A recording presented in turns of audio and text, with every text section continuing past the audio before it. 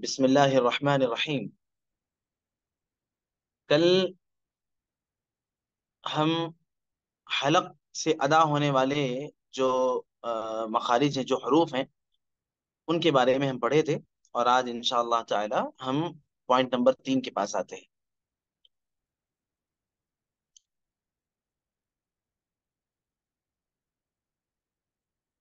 जबान यानी मखारिज मुकम्मल कितने हैं? सत्रह हैं। जुजवी मखारिज। मखारिज की दो किस्में हैं। एक कुल्ली और एक है जुजवी। कुल्ली मखारिज की पाँच किस्में हैं और जुजवी मखारिज की सत्रह किस्में हैं। देखिए, मखारिज की दो किस्में हैं।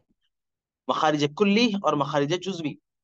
तो मखारिज कुल्ली की पाँच किस्में हैं। जौफ, यानी हलक का, हलक और मुँह का खाली हिस्सा, फिर हलक, फिर जबान, होंठ और खैशूम यानी नाक का मासा।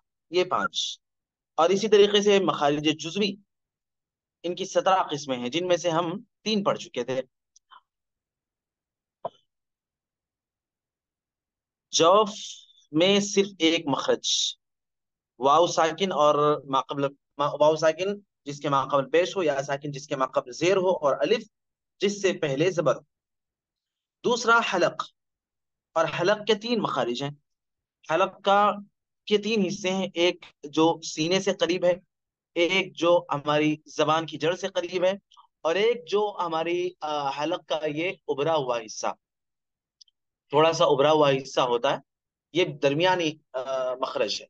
दरमिया, हलक का दरमियानी हिस्सा है। निचला जो सीने की जानब है, उससे दो हरूफ अदा होते हैं, हा और हमजा। और उसके बाद जो दरमियानी है, उससे दो हरूफ, आइन और हा। और हलक का जबान की जड़ से मिला मिला हुआ जो हिस्सा है ऊपरी, उससे दो गैन और खा। उसके बाद नंबर तीन। जबान। जबान के कुल दस मखारिज हैं। जबान के कुल दस मखारिज हैं। पहला कौफ, ये जबान की जड़ और ऊपर की तालू से। जबान की जड़ और ऊपर की तालू। तालू किसे बोलते हैं? चर्बी या कोई चिकनाई वाली चीज़ जब हम खाते हैं तो वो चिकनाई जबान पर लग जाती है और जबान की इस नोक से हम उस चिकनाई को छुड़ाने की कोशिश करते हैं, है ना? तो वो ऊपर का जो हिस्सा है ना, वो तालू है। तालू भी आगे का भी है, दरमियान का भी है, बिल्कुल हलक के करीब का भी है। तो जो हलक के करीब वाला तालु है वो और जबान की जड़, ये दोनों मिलकर कौफ अदा होते हैं। नंबर दो, कैफ तो जबान की जड़ से कुछ ऊपर का हिस्सा और ऊपर का तालु। तीन, जीम, शीन और या। इन तीनों का तकरीबन एक ही मखरज है, जबान का बीच का हिस्सा और मुकाबिल ऊपर का तालू। यानी जबान का बीच का हिस्सा और तालू का भी ऊपर का दरमियान वाला हिस्सा। उसके बाद दौद तो जबान की करवट और ऊपर की दाढ़ों की जड़। जबान की करवट यानी जबान पलट जाती है, ऐसे। बौद बौद जबान पलटती है और उसका जो किनारा है ना वो दाढ़ में टच होता है। तो दौद दौद आपने सुना होगा अक्सर इमाम साहब लोग जब नमाज़ पढ़ाते हैं तो वो कैसे अदा करते हैं दौद को? कभी कभी ऐसा महसूस होता है, गोया दाल बोल रहे हैं, वलद दालीन। हालाँकि वलद दालीन नहीं होता वो वलद्दौलीन वलद्दौलीन तो कब अदा होता है? जब जबान की करवट ऊपर की दाढ़ों की जड़ से टच होती है ना, तब। उसके बाद है, लाम। तो ऊपर की, ऊपर के दांतों की जड़ और जबान का किनारा, लाम, ये ये जबान का किनारा और ऊपर की दांतों की जड़। लाम अदा होता है। उसके बाद नून। लाम के मखरज के करीब और सिर्फ़ जबान का किनारा। लाम के मखरज के करीब, यानी ऊपर के दांतों की जो जड़ है ना, उससे थोड़ा सा और अंदर का हिस्सा और यही जबान का किनारा। और उसके बाद रा। उसके बाद है रा।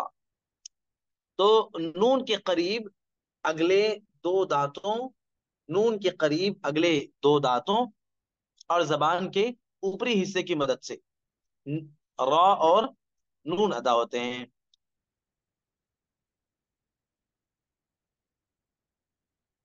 जी, उसके बाद नंबर आठ है। ता, दाल तो दाल तो तकरीबन तीनों का एक ही मखरज है।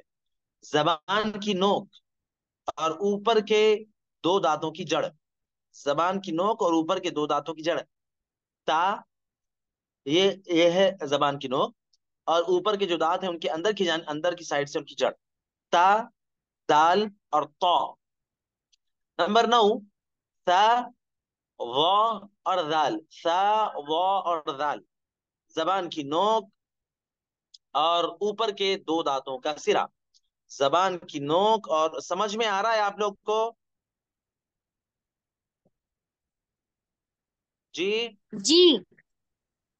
समझ में आ रहा है? कंफ्यूजन होगा तो आप हमें हम बार बार कहते हैं कि आप हमें अपना कंफ्यूजन भेजिए हम उसको हल करने की कोशिश करेंगे। नंबर दस सीन जा और साद। सीन जा और साद जबान का सिरा और अगले दांतों का किनारा। सीन, जा और सौद।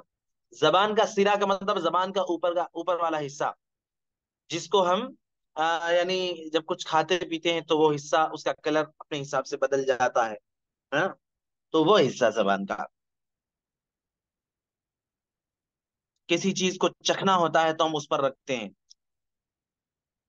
ये ये जो हिस्सा है ना, ये है सिरा जबान का। और अगले दांतों का, आगे वाले दांतों का किनारा। और कुछ ऊपर का हिस्सा मिलकर, कुछ ऊपर का यानी कुछ तालुक से टच होकर, सीन, जा और साद, ये हरूफ अदा होते हैं। नंबर चार, और उसके बाद ये थे जबान के से अदा होने वाले हरूफ। जबान के अंदर कुल दस मखारिज जबान से अदा होने वाले हरूफ, उसके बाद नंबर चार पे आते हैं, होठ के दो मखारिज हैं, जिनसे चार हरूफ अदा होते हैं। होठ के दो मखारिज हैं, जिनसे चार हरूफ अदा होते हैं। कोई बहन है सलमा बार बार परेशान हो रही है, वो शायद ज्वाइन हो रही है, उनको समझ में नहीं आ रहा है तो वो बार बार ज्वाइन हो रही है और लेफ़्ट हो जा रही है। तो अगर कोई उनकी रहनुमाई कर सकते हैं तो उनको रहनुमाई करते हैं। हमने जो वीडियो शुरू में भेजी थी जूम लिंक कैसे ज्वाइन करें? हो सके तो आ, कोई उनके पहचान वाले हैं तो उनको आ, वो फॉरवर्ड कर दें ताकि वो देखकर आसानी के साथ ज्वाइन कर सके। अच्छा। तो होंठ के दो मखारिज हैं जिनसे चार हरूफ अदा होते हैं। पहला है फा। फा ऊपर के ऊपर के दांतों का किनारा और नीचे के होंठ का अंदरूनी हिस्सा। ऊपर के दांतों का किनारा। हाँ? और नीचे के होंठ का अंदरूनी हिस्सा, अंदर से। तो फा फा फा अदा होता है। और बा दोनों होठों को, दोनों होठों की तरी, ये दोनों होठ है ना, दोनों होठों का थोड़ा अंदर वाला जो तर हिस्सा है ना, वो आपस में जम होकर दबता है और बा अदा होता है। बा बा। और उसके बाद मीम, दोनों होठों की खुशकी। बा और मीम में फ़र्क यह है कि बा थोड़ा सा अंदर का जो तर वाला हिस्सा है, वो आपस में लगता है मीम जो बाहरी खुश्क हिस्सा है, वो आपस में लगता है। उसके बाद होंठ के दो मखारिज में से एक हो गया और दूसरा ये है कि वाउ। वाउ, गैर मद्दा, वाउ, गैर मद्दा। वाउ वाउ मद्दा जब होता है ना, वाउ साकिन जब होता है तो वो तो मुँह के खला से अदा होता है ना, मुँह का खाली हिस्सा, उससे अदा होता है, जैसे हमजा वाउ पेश, ऊ ऊ ऊ। तो पहला तो हमजा हुआ, दूसरा जो अदा हो रहा है ना, आवाज़ आ रही ऊ तो वो मुँह के खला से अदा हो रहा है, मुँह के खाली हिस्से से अदा हो रहा है। जबकि वाउ अगर गैर मद्दा है, यानी उस पर जबर है, जेर है, पेश है, जजम है, तशदीद है, कुछ है तो वो वाउ कैसे अदा होता है? जब दोनों होंठ गोल हो जाए होकर गोल कर लिए जाए हाँ? जब दोनों होंठ गोल कर लिए जाए, वाउ, दोनों होंठ गोल होते हैं। ऐसा था, वाउ यानी होंठ पहले गोल, फिर थोड़ा सा खोलते हैं, फिर उसी कैफियत में वापस लौट जाते हैं। तो वाउ अदा होता है इंग्लिश में एक वाउ होता है डब्ल्यू ओ डब्ल्यू वाउ तो बिल्कुल वैसे ही भी अदा होता है वाउ अच्छा। मखारिज जुजविया की पांचवी किस्म खैशुमा यानी नाक का बांसा। तो इससे क्या क्या अदा होता है? इससे गुन्ना अदा होता है इसके दो हरूफ है, नून और मीम। इससे गुन्ना अदा होता है खैशुमा नाक के बासे से। नून और मीम ये दो हरूफ। और आप कायदे पढ़ चुके हैं कि नून पर तशदीद हो, या मीम पर तशदीद हो, या बहुत सारे जो भी कायद हैं नून साकिन और तनवीन के, उसमें आपने, और इसी तरीके से मीम साकिन और तनवीन, मीम साकिन का कायदा, वहाँ पर आपने तफसील से चीज़ पढ़ी है। अब यहाँ पर देखिए मैं इसको थोड़ा छोटा करता हूँ ताकि पूरी तरीके से आपकी स्क्रीन पर आ सके। ये जबान है।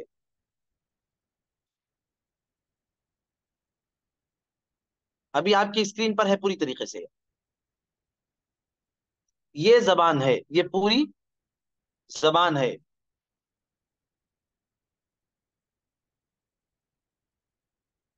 ये वाला जो हिस्सा है ना, ये वाला हिस्सा है हलक की तरफ़ का। और ये वाला हिस्सा है, ये वाला हिस्सा है इन होठों की तरफ़ का, मुँह की तरफ़ का, बिल्कुल। है ना? ये पूरी जबान है। मैं इसको डिलीट करता हूँ। यानी ये जो मैंने निशान डाला, आप उम्मीद के समझ गए होंगे, मैं इसको डिलीट करता हूँ। अभी आप समझिए, ये ये हलक वाला हिस्सा है, ये इधर का हलक वाला हिस्सा है और ये इधर का बिल्कुल मुँह वाला हिस्सा है। ये देखिए, ऊपर दांत भी हल्का हल्का महसूस हो रहे हैं कि ऊपर दांत है। ये है आपकी जबान। ये है आपकी जबान। ठीक है? अब देखिए सीने से करीब जो हलक वाला हिस्सा है, वहाँ से हमजा और हा अदा हो रहे हैं। दरमियान बाहर वाला हिस्सा है थोड़ा सा हलक का। वहाँ से आइन और हा और जबान की जड़ के, जबान की जड़ की तरफ़ का जो हलक वाला हिस्सा है, उसे गईन और खा अदा हो रहे हैं।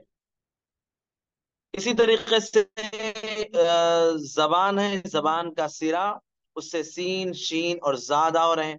थोड़ा सा ये जबान दांतों के करीब पहुँचती है, सीन, शीन और सा सामने के जो दांत है, वो और जबान मिलकर अदा होते हैं।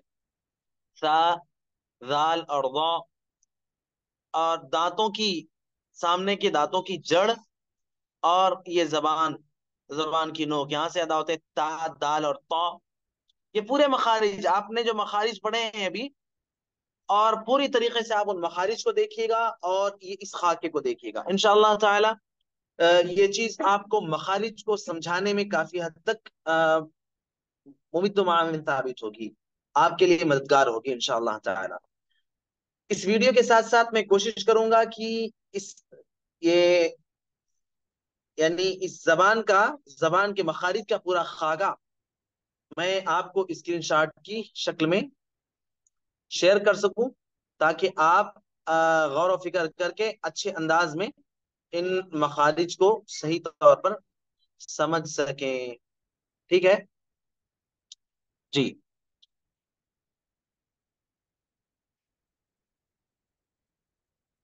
आगे बढ़ते हैं। ये देखिए, और वजाहत के साथ यहाँ पर आपको मखारिज समझाए जा रहे हैं। और भी वजाहत के साथ, देखिए। अलिफ, वाउ और या, ये हरूफ मद्दा है। ये जब अदा होते हैं तो ये कैफियत होती है की। जैसे हमजा खड़ा जबर, आ, हमजा खड़ा जबर, आ, यही कैफियत रहती यही वाली कैफियत। हमजा खड़ा जबर, आ हाँ हमजा वाउ पेश यानी मुँह की खला से, ये है मुँह की खला। ये जो दिख रही है आपको दोनों दांतों के दरमियान मुँह का खाली हिस्सा, इससे अदा होते हैं ये हरूफ मद्दा। अलिफ, वाउ साकिन और या साकिन। नाक का खैशूम खैशूम यानी नाक का बासा, क्या है? ये नाक है। और नाक के अंदर ये जो सुराख होते हैं ना, नाक के अंदर ये जो सुराख होते हैं, उसी को नाक का बासा कहा जाता है। पा और मीम की अदायगी कैसे? पा जब अच्छी तरीके से दबते हैं दोनों होंठ और अंदर का तर वाला हिस्सा आपस में मिलता है दोनों होंठों का, तब अदा होता है बा। और मीम, ये पूरी शिद्दत के साथ सख्ती से दोनों होठों को नहीं मिलाना होता, बल्कि हल्का सा तो इसका अंदर तर वाला हिस्सा नहीं मिलता, बल्कि जो जबान का, होठों का, जो ऊपर का खुश्क वाला हिस्सा है, वो आपस में मिलता है। इसी तरीके से फा, यहाँ देखिए, फा, ऊपर के ऊपर के दांत और नीचे के होठ का अंदर वाला, तर वाला हिस्सा। जब मिलता है तो अदा होता है फा। और एक चीज़ और वाजे कर दू, फा की अदायगी के वक्त हल्की सी हवा अंदर से बाहर की तरफ़ आती है और वो हवा ऊपर के होठों में अंदर की जानिब टकराती है। फा जब अदा होता है। वाऊ वाऊ जब अदा करते हैं हम तो होंठ ऐसे गोल हो जाते हैं। वाऊ वाऊ वाओ इस तरीके से होंठ गोल हो जाते हैं। और ये हर्फ अदा होता है मुँह की खला से। म्यूट रखिए। जी। थोड़ा सा हम जिसको मुश्किल समझते हैं, जिस मखरज को वो है दाद। और मैं आपको वजाहत के लिए बता दूँ, अरबी जबान की ये खसूसियत है, अरबी जबान की ये खसूसियत है, इस अरबी जबान को लगतुद्दाद भी कहा जाता है। क्योंकि इसका बिल्कुल यूनिक मखरज है। दाद ये किसी भी जबान में नहीं है। किसी भी जबान में इससे मिलता जुलता कोई हर्फ नहीं है। दाद अब देखें यहाँ पर, जबान हमारी जबान हमारी कैसे उसका एक किनारा दाढ़ की जड़ में टच हो रहा है, और फिर ये हर्फ अदा हो रहा है दाद है ना? उम्मीद के समझ में आ रहा होगा आपको। अगर किसी को नहीं समझ में आ रहा तो हैंड रेस कीजिए।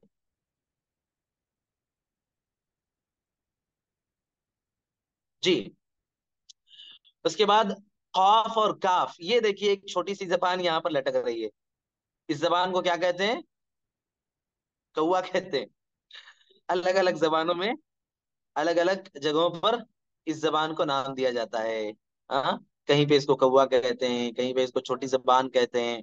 हाँ अलग अलग नाम दिया जाता है। अब आपकी जबान में इसे क्या कहते हैं मुझे नहीं मालूम, लेकिन इसको अलग अलग नाम दिया जाता है। ये छोटी जबान जो यहाँ, इस बड़ी जबान के ऊपर, इस जगह पर, मैं इसको पॉइंट आउट करता हूँ जरा।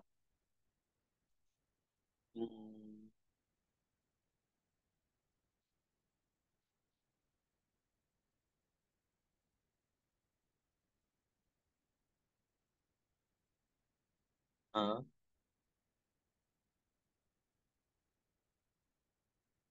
ये देखिएगा आप, ये ये जो हल्का सा नज़र आ रहा है, दस मिनट और है अपने पास, इंशाल्लाह। तो ये जो हल्का सा नज़र आ रहा है, इस इस छोटी जबान को क्या कहते हैं आपके पास? आपके अपनी जबान में क्या कहते होंगे? मुझे मुझे नहीं पता, लेकिन बहरहाल इसको मुख्तलिफ़ जबानों में मुख्तलिफ़ हरूफ के ज़रिए से वादह किया जाता है।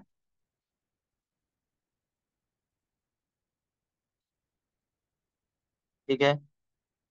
तो कौफ कौफ की अदायगी और काफ की अदायगी, जबान की जड़ और तालु का हलक से करीब वाला हिस्सा। जबान की जड़ और तालु से हलक से, तालु का हलक से करीब वाला हिस्सा दोनों मिलकर, ये दोनों हरूफ अदा होते थोड़े थोड़े फ़र्क के साथ।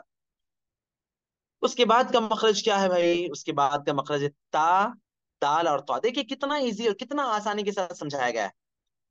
ता दाल तो ता दाल तो। दोनों तरीके से इसके खा, इसका खाका बनाया गया है।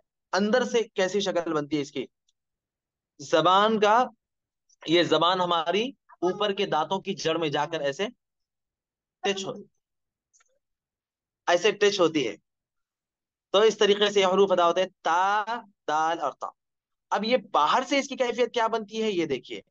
बाहर से इसकी कैफियत बनती जबान ऊपर की दांतों की जड़ को जाकर जबान जबान की नोक टच हो रही ता, दाल और ता।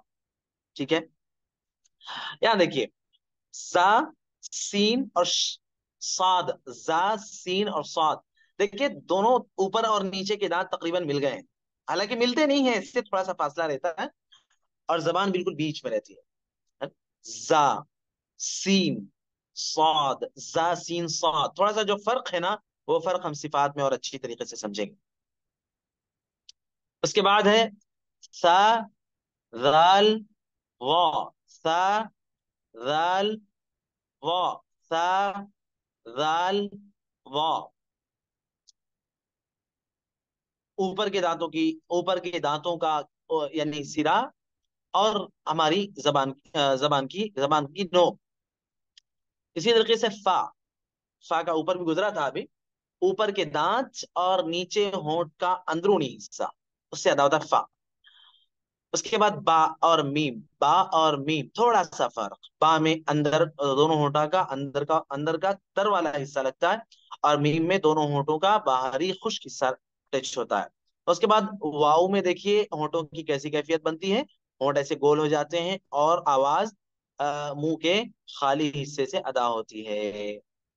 अब यहाँ पे आ, और वादह करने के लिए थोड़ा सा समझाने की कोशिश की गई है। आइन हा और गईन आइन हा और गईन इसके बाद हमजा हा। आइन हा ये बिल्कुल हलक से करीब। गईन खा ये बिल्कुल आ, यानी दरमियान और हमजा और हा बिल्कुल। यानी थोड़ा सा फ़र्क के साथ ये तीनों ही हरूफ, ये बल्कि छह हरूफ ये हलक से अदा होते हैं। अभी आ रहे अभी अभी आ रहे अभी आ रहे अभी आ रहे अभी आ रहे अभी जाइए आप देखिए, अभी आ रहे ठीक है, हलक और मुँह के खाली हिस्से से निकलने वाले हरूफ, हलक और मुँह के खाली हिस्से से। ये एक खाका थोड़ा सा मुझे लगता है कि अभी जो आप बिल्कुल वादे खाके पढ़े हैं, उसके मुकाबले में थोड़ा सा मुश्किल है। मुश्किल का मतलब मुश्किल नहीं, बल्कि थोड़ा सा और यानी तवज्जो देने वाली चीज़ है। इससे बड़ा आसान ऊपर का जो खाका गुजरा है इंशाल्लाह पूरे खाके हम आपको स्क्रीनशॉट की शक्ल में भेज देंगे तो आपको समझने में आसानी हो जाएगी। और ये एक मजमूरी तौर पर मुकम्मल खाका आपके पास पेश है। ठीक है? इसके बाद से शुरू होता है हरूफ के सिफात का बयान। इसके बाद शुरू होता है हरूफ के सिफात का बयान। जी। तो हमें उम्मीद है कि मखारिज का पूरा सबक आप लोगों को समझ में आया होगा। किसी को नहीं समझ में आया तो मैं बार बार कहता हूँ कि आप बिल्कुल फ़िक्र मत कीजिए, बिल्कुल ही आप यानी झिझक मत कीजिए। बिला झिझक आप हमको मैसेज कीजिए। हम कोशिश करेंगे आपका जो भी डाउट है, उसको क्लियर करने का हम कोशिश करेंगे आपकी, आपका इश्काल दूर करने की। और आपको अगर कोई चीज़ नहीं समझ में आई तो हम समझाने की कोशिश करेंगे, ठीक है?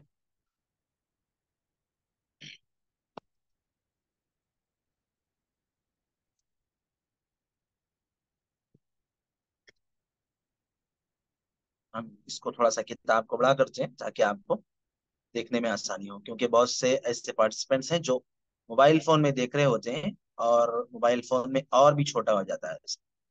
अच्छा छठा बाब है सिफात का। सिफात सिफात हरूफ का बयान। आपने देखा, अभी गौर किया कि जब मखारिज समझा रहे थे हम तो वहाँ पर एक ही मखरज से अदा होने वाले दो तीन हरूफ, उसमें थोड़ा थोड़ा सा फ़र्क था। जैसे जा, सीन और साद। जा, सीन और साद। तीनों का मखरज एक ही है, लेकिन फिर भी तीनों में थोड़ा थोड़ा सा फ़र्क है। तो फ़र्क क्यों हो रहा है मालूम? इसी सिफात के फ़र्क की वजह से वो फ़र्क हो रहा है वहाँ पर।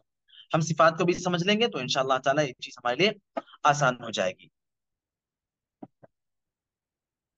किसी हर्फ की सिफत से मुराद। सिफत क्या मतलब? क्या है सिफत? सिफत से मुराद वो कैफियत जो हर्फ की अदायगी के वक्त आवाज़, सांस और जबान को पेश आए। हाँ किसी हर्फ की सिफत से मुराद वो कैफियत है जो हर्फ की अदायगी के वक्त आवाज़ सांस और जबान को पेश आए। सिफात की दो किस्में हैं, सिफात लाजिमा और सिफात मुहसिना सिफात की दो किस्में हैं, सिफात लाजिमा और सिफात मुहसिना